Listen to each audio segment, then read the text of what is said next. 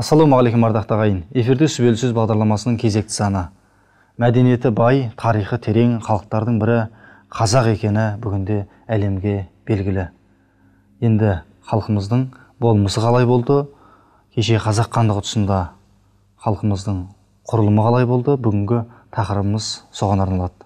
Студиямыздың қонағы тарих ғылымдарының докторы евразия ұлттық университетінің профессоры жамбыл артықбаев.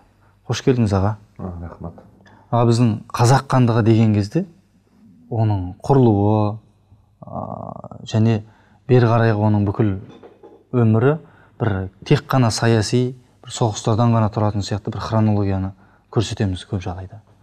Енді ол қазақ мемлекетінің ішкі құрылымы қалай болды? Осы жағын айтып өтесіз бе бізге?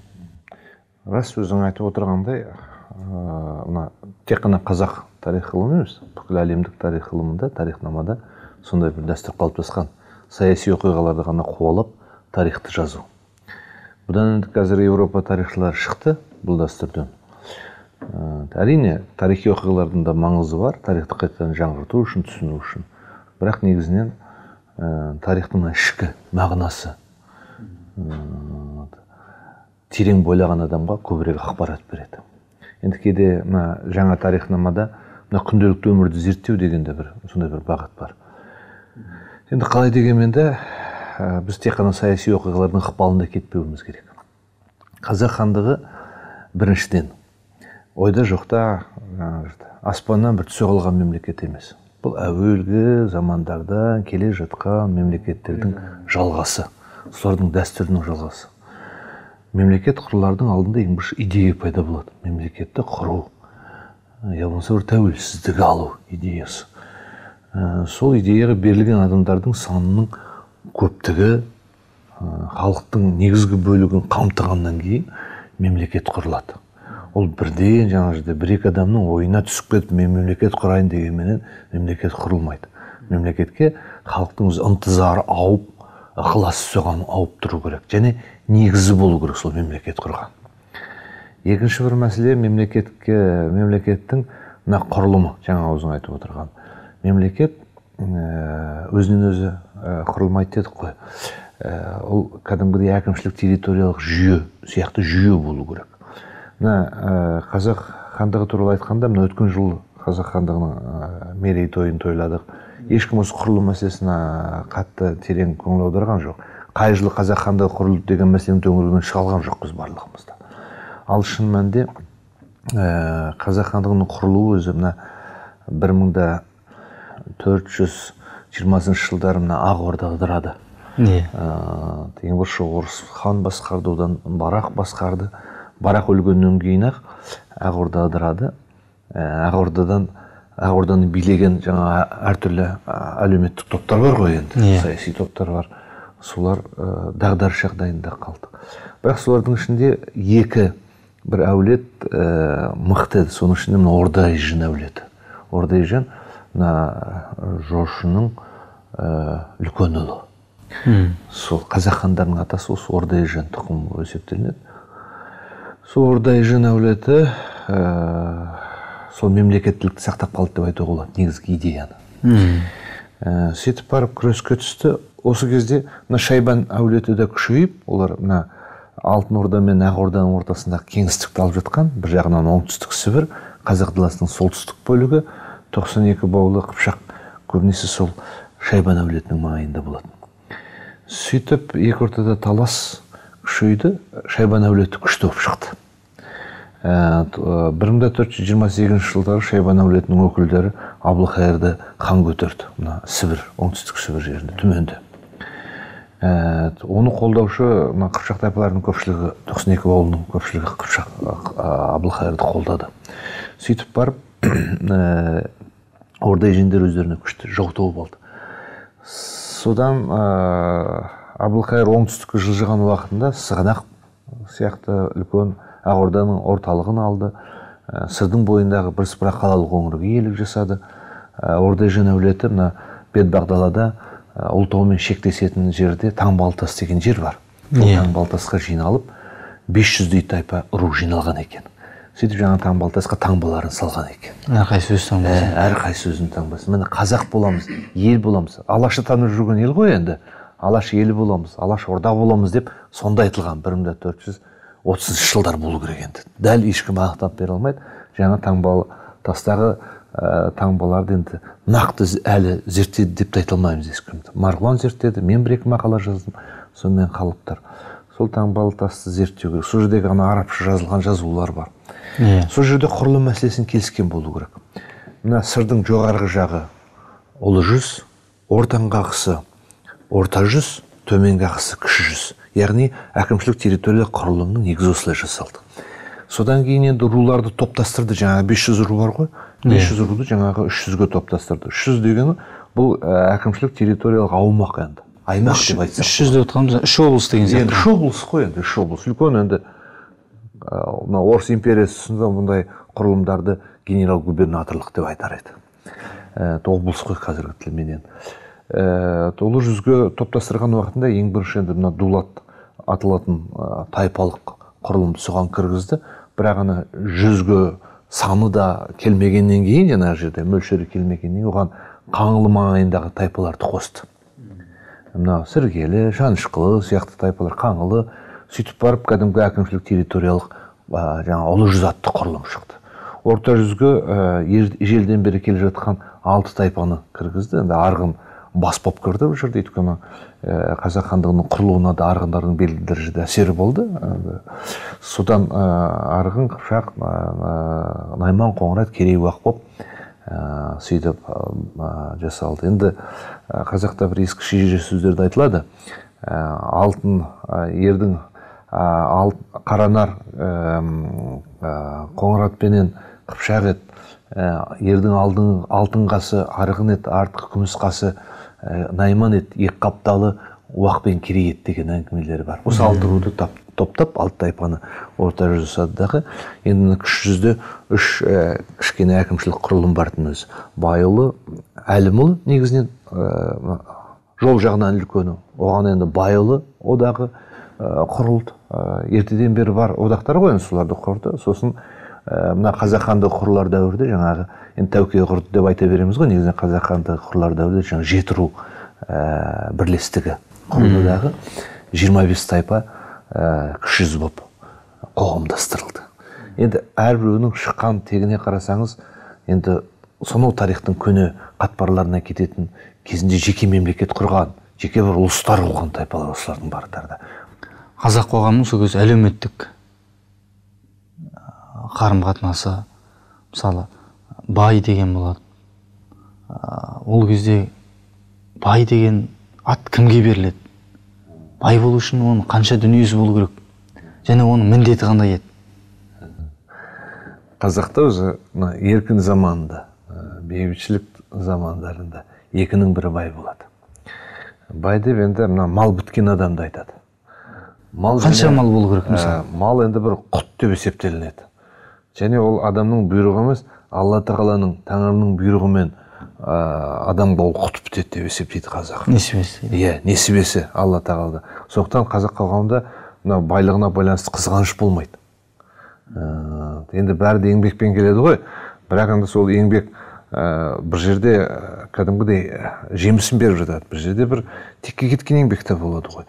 Ә, кейде бір бай болам деген адамның жылдап жинаған дүниесін малын бір боран қырып тастайды. Иә. сондықтан да алла тағаланың өзі берген несібесі құты деп жаңағы байларға қарым қатынас сондай болады көзқарас яғни қазіргі замандағыдай қызғаныш жаңағы бірдемесін көре алмаушылық деген қазақта болмайды. Екіншіден жаңа айттық қой қазақ қоғамының рулық жүйесі тайпалық жүйесі жүздік жүйесі бұл әкімшілік территориялық құрылым. Жерде әртүрлі ә, рулардың өкілдері тіпті әртүрлі елдердің өкілдері көрші елдердің өкілдері де кіріп жаңағы рулық құрылымнан орын тапса жаңа әкімшілік құрылымнан ә, тең азамат болып кете береді. Ә, әркім өзінің ә, азаматтық деңгейіне байланысты шешіледі. Өзін ұстап дұрыс жүрген адамды қазақ қоғамы кеудеден итермейді. Сол ішінде жүре береді кіріп. Ал енді бірақ жаңағы қоғамның идеологиясы туыстық. Туыстық. Туыстықпен байлайды. Сондықтан туыспағаннан кейін және туыс өзіңнің байың болғаннан кейін жаңа жерде бай болғаннан кейін оған сен өзің туысың есебінде қарайсың ғой оны қанша жерден бай болғаннан кейін. Өйткені ә, саған бір ә, жаңа қажет болып тұрса жаңа байдың ә, мініп жүрген атын мініп кетесің. Майын сұрап иә иә майын дейді ағайын туған. Бір ә, ұлыңды үйлендіру үйлендіремін деп ә, жаңа жерде қалың малға малың жетпей жатса жаңа байдың ағайын деп малынан аласың деген сияқты. Көшіп қонған уақытында сол байдың бағып жүрген түйесін пайдаланасың деген сияқты. Сондықтан да мына туыстық болғаннан кейін ә, бай да бермеймін деп айта алмайды ә, кедейді жоқ деп айта алмайды жаңағы байдың малын өз малындай көреді. Ағайын туған болғаннан кейін солай болады. Әрине оның ә, әлеуметтік қарым қатынастарда мына тектен текке бәрі беріле бермейді. Жаңағы азамат та байдың атын пайдаланса ол байдың жылқысын қорғайды. Ертең жаңағы бір жаугершілік тұсында барымтаның кезінде жаңағы жерде ыыы жаңағы бағуға көмектеседі жаңағы малды деген сияқты. Сондықтан да бұл жерде өзі мына бәрі тегіннен тегін болмайды шын айтқанда. Иә. Ә, бірақ ә, ә, мені қанап жүр анау бай. Қан сөлімді жаңа жерде шығарып жүр деп және айта алмайды. Өйткені туыс болғаннан кейін туыс ағайынға қызмет жасап жүрмін ол да маған керек кезде қызмет жасайды дейді. Осы қазақ құрылымында басқа жұрттардағыдай басқа елдердегідей мысалы таптық көзқарас ә, немесе құл иеленушілік деген нәрселер. Болды? деген біздің тарихымызда болмаған нәрсе. Мына совет кезеңінің тарихшылары біледі бізде қолайыншылық кезең болды деп бір отызыншы жылдары бір даңғой енді орыс тарихшылар ана панкратовтардың идеялары солар жасап көрді. Бірақ енді құлайыншылықты біздің қазақ қоғамынан табу қиын. Бізде мына патриархалдық құлайыншылық деген болады. Мына сырт ә, елдің ә, өзге діннің өкілдері қазақ қолына тұтқын болып жаңағы жаугершілік кезінде түсіп қалса я болмаса бұхара самарқанд базарларына барады сол жақтан сатып алып келсе бір әлгі енді мысалы қазақ мыңдап он мыңдап жүз мыңдап қой айдайды жылқы айдайды Иә. соның ә, өтіліне ана жақтан неше түрлі енді дүние келеді жаңағы Иә. жерде. кездеме мата енді көшпелі қоғамға қажетті дүниелердің барлықтары келеді ғой ә, негізінде саудасы мына түркістан алқабында жүргізіледі. Түркістан сығанақ сияқты қалаларда. Сығанақта мәселен ә, мына базардың қайнаған күндері 500 түйе сойылады дейді мына тек қана кебапқа қара кебапқа қара сол ә, содан кешке қарай 500 түйеден бір жапырақ ет қалмайды деп айтады сауда. Бірақ енді қазақ жылына 2 миллион 3 миллиондай қойды шығарады сыртқа саудаға. Иә Ә, оны одан ары көбейтіп өсіре беру де мүмкін емес даланың мүмкіндігі шектеулі өзі негізінен екі жүз мың үш жүз мың жылқы айдайды сатады енді соған енді дүние алады соның арасында жаңағыдай құлдар күңдер ә, енді барған адамдар сатып та алады сатып алмай құл болмайды деген сөз солай. Ә, бірақ бұл ә, қазақ болмау керек. Жаңағы құлдар күңдері өзге ұлт соның ішінде өзге діннің өкілдері болу керек.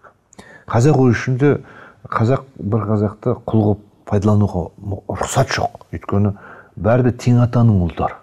Жаңа әкімшілік жүйенің ішіне кірген уақытында олар әкімшілік мысалы бір ауданның адамымыз деп есептемейді бір атаның ұлымыз деп есептейді. Жаңағы сол атаға кіріктіріледі жаңағы генеалогия. кімнің шалкиізін жаңағы тепсінісіп келгенде тең атаның иә ұлы тең екен дейді. атаның ұлы иә.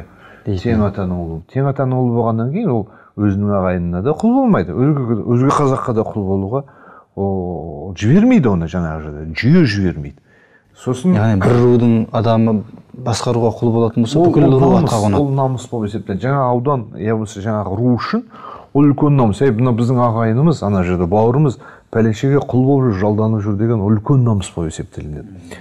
Жаңа айтып отырмын ғой ана байлардың өзің жаңа сұрап отырсың ғой байлар жөнінде. Байлар мәселен бір кедей ағайындарын ана қыстауда қыстаудың жұртында тастап кетсе жаңағы ә, ол да үлкен намыс болып есептелінеді ана байларға ә, жұрт сәлем бермей көшке қояды. ере алмай қалса. иә жұрт сәлем бермей қояды. Үлкен жиынға кіргізбей қояды. Бетіне салық болады қазақтың тілімен айтқанда. Сондықтан да амал жоқ. Ол ана ағайын туғанын бірге өзімен бірге көшіріп алып жүреді. Тастап кете алмайды. Тастап кету деген сол он тоғызыншы ғасырдың екінші жартысынан капитализм сауда капиталы қалай кірді? Біз қалай қатты кедейлене бастадық? Капитал енді сауда өсімқорлық капитал деген қатты әсер етті қазаққа аңқау ашық ауыз рыцарь жаңағы ат үстінде салпаңдап жүрген қазақ жаңағы өсімқорлық капиталдан таяқ қатты таяқ жеп жиырмасыншы ғасырдың басында ғана есін жинай бастады. Ә, жалпы мына қазақтың ә, өз ішінде екінші бір қазақтың еңбегін пайдалануда сол 19 ғасырдың екінші жартысынан жаңа кедейленудің барысында пайда болды. Тіпті қалың институты соған байланысты бұзылды. Бұрынғы уақытта қалың малға ә, екі тең атаның ұлы жаңағы бірі ұл біреуінде қыз бар жаңағы жерде құда түсіп жатса ә, қалың малға сәйкес жасау келеді иә. Кейде қалың малдан асып келетін. Қалың малдың ішін ә, қалың мал 47 жылқы болатын болса ә, қыздың жағынан кигіз үй келеді отау деп аталады кәдімгідей. Иә. Қазіргі күнмен айтқанда енді екі бөлмелі бір бөлмелі пәтер үй кәдімгідей. Иә. Сондай келеді жасау жабдығымен сол ана атасының үйінің жанында қонады жаңағы отау. Ә, келін бала атасының үйіне қонып басқа бір үйге қонып жүрмейді. Әуел бастан өзінің кигіз үйі болады кәдімгі. Үй ғой енді қазақтың тәртібімен айтқанда. Сондықтан да осы институт та бұзылды жаңа жерде. Қалың малға қыз сату деген әңгіме содан шығады жаңа жерде. Яғни қалың малды ана күнкөріс үшін сұрайды. Бұрынғыдай жасау жасау үшін сұрамайды. Күнкөріс үшін сұрайды. Содан әлгі қалың малдың бізге жек көрінішті болып жүргені сол себептен. Ә, осындай осындай. Бұл дәстүрлердің барлықтары қазақтың мықты ерлік жаңағы рыцарлық дәстүрлері. Бір мың сегіз жүз жетпісінші жылдарға дейін келді. Бұл радылов айтады бұл қазақ халқы рыцарлық дәстүрлерін соңғы сақтап отырған халық дейді. Жаңа өзің айтып отырған біреу біреуге құл болмайды деген осы. Бірақ мындай бір ерекшелік бар. Ислам дінін қабылдап жатса қазақ ортасына кіріп жатса еніп жатса азамат есебінде кәдімгідей қасиеті болса дұрыс қасиеті болса оны бауырға салып асырап алып кетеді сол рудың ішіне кіргізіп жаңағы бала асырап алу деген қазақта өте керемет дамыған дәстүр. Өзі этап этаптармен бөлінеді өзі бала асырау деген. Сол бала қылып асырап жаңа жерде киімді бала дейді сөйтіп бауырына салып асырап алып кетеді. Өзінің қасиетіне байланысты. Биыл тәуелсіздіктің жиырма бес жылдығы осы тұста тәуелсіздіктің қадірін түсіну үшін де осы тарихты білу тарихи сананы қалыптастыру маңызды деп ойлайсыз ғой енді? Иә мына бүгін ғана мына мәңгілік ел қазақстанның жиырма бес жылдық тәуелсіздігі деп бір мақала жазып соны ә, жинаққа тапсырып келдім. Ә, тәуелсіздік бұл енді біздің аталарымыздың аса бір аңсаған сондай. Ә, ә, жетістігіміз. Біздің енді бағымыз ұлтымыздың бағы. Қаншама халық бар әлемде. Мына этностардың саны үш мыңнан астам. Ал мемлекет құрып отырған 250 ғана. Сонда саны бізден де көп қанша иә екі жүз елу халықтың бағы бар деп есептеу керек. Ұлттың біз соның ішіне кіріп отырмыз. Сондықтан мына тәуелсіздікті кәдімгі шыны ыдыс хрустальды қалай біз күтіп былай ұстаймыз жаңа жерде сындырып алғымыз келмей солай тәуелсіздікті қадірлеуіміз керек. Бұл енді алла тағала біздің бағымызға маңдайымызға берген сый үлкен. Ә, соны енді тойлап жатырмыз. Бірақ енді тәуелсіздікті айтқан уақытында біздің тарихымыз тек қана мынау жиырма бес жыл бұрын ғана басталады деген емес. Біздің тарихымыз анау көне замандарға кетеді. Біз соның жалғасымыз. Біз отарлықта болып жаңағы қиналып ә, азаматтарымызды қырып алып жаңағы жерде отыз жетінші жылдың қырғыны қалай болды? Соғыстан кейінгі репрессиялар қалай болды? отызыншы жылғы қолдан ұйымдастырылған аштық қандай болды? Халыққа зардап. Әлі күнге дейін кеткен жоқ бізде сол зардап. Сондай бір көз жасымызбен келген тәуелсіздік бұл. Жаңағы азаматтардың күресімен келген. Ә, қанымен келген терімен келген ә, сондай тәуелсіздік. Сондықтан бұл тәуелсіздікті біз аса қадірлеуіміз керек. Халыққа өзіміздің азаматтарымызға осы тәуелсіздік құтты болсын деп айтқым келеді. Әмин. Баршамызға құтты болсын. Қадірлі ағайын бүгін бізде қонақта болған тарих ғылымдарының докторы евразия ұлттық университетінің профессоры жамбыл артықбаев. Студиямызға келіп қазақ тарихынан қазақ құрылымы мәдениеті сол өмірінен хабар беріп керемет сұхбат бердіңіз. Көп көп рахмет айтамыз. Өздеріңе де рахмет. Шақырып отырған. Осымен біздің хабарымыз аяқталды. Келесі кездескенше алла амандық берсін.